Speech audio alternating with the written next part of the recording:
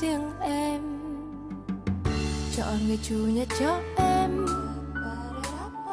Cùng bạn bè chung quán quen, chẳng cần phải nghĩ